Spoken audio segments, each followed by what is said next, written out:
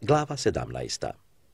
12. godine carovanja Ahazova nad Judom zacari se u Samariji nad Izraelom Ozeje sin Elin i carova devet godina.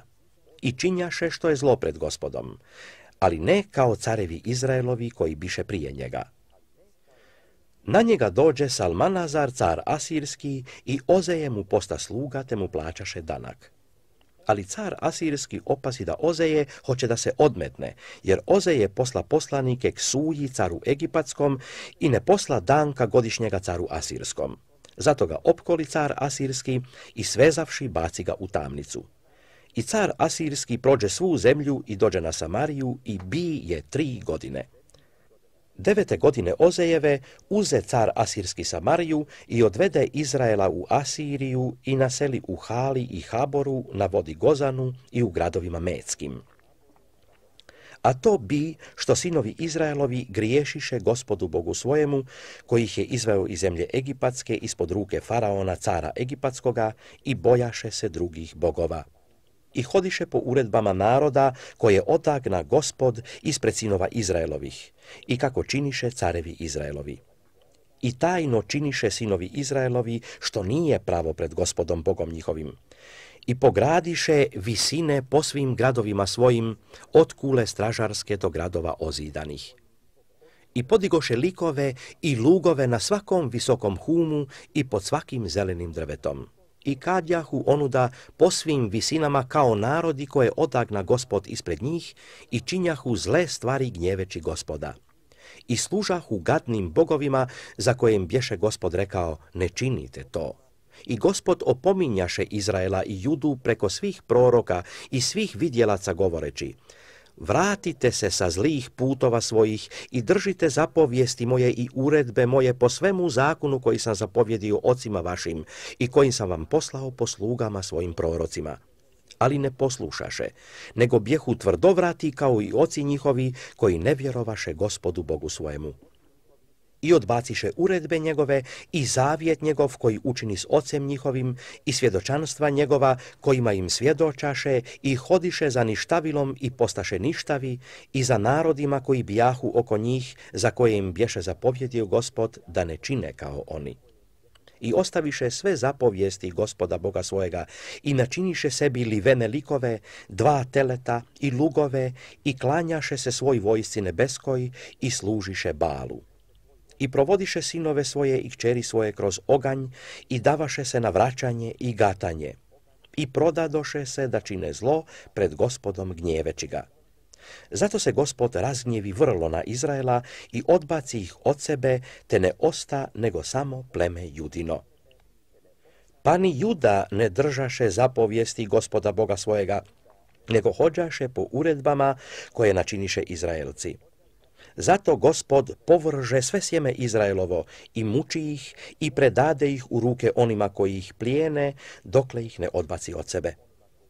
Jer se ocijepiše Izraelci od doma Davidova i postaviše carem Jeroboama, sina Nabatova, a Jeroboam odbi Izraelce od gospoda i navede ih da griješe grijehom velikim i hodiše sinovi Izraelovi u svim grijesima Jeroboamovim koje je on činio i ne odstupiše od njih dokle gospod ne odbaci Izraela od sebe kao što je govorio preko svih sluga svojih proroka i tako preseljen bi Izrael iz zemlje svoje u Asirsku do današnjega dana.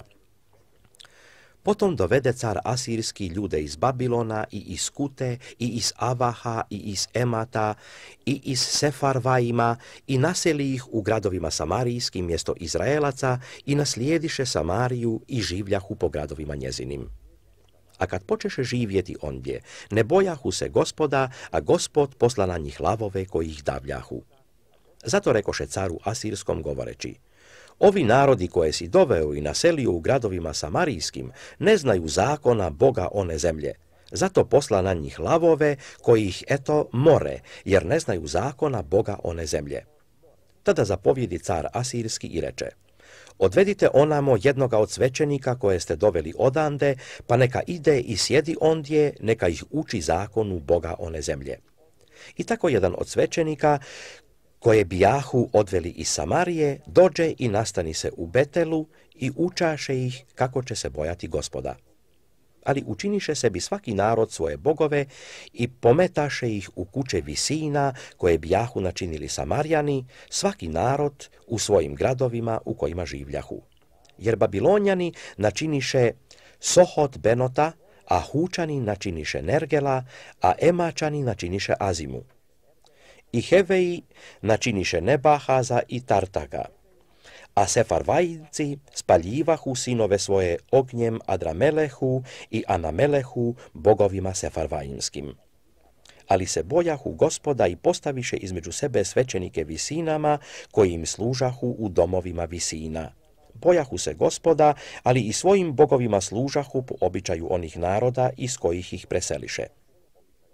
I do današnjega dana rade po starim običajima – ne boje se gospoda, a ne rade ni po svojim uredbama i običajima, ni po zakonu i zapovijesti što je zapovjedio gospod sinovima Jakova, kojemu nadje ime Izrael. S kojima učini gospod zavjet i zapovjedi im i reče, ne bojte se drugih bogova, niti im se klanjajte, niti im služite, niti im prinosite žrtava nego gospoda koji vas je izveo iz zemlje Egipatske silom velikom i mišicom podignutom, njega se bojite i njemu se klanjajte i njemu prinosite žrtve.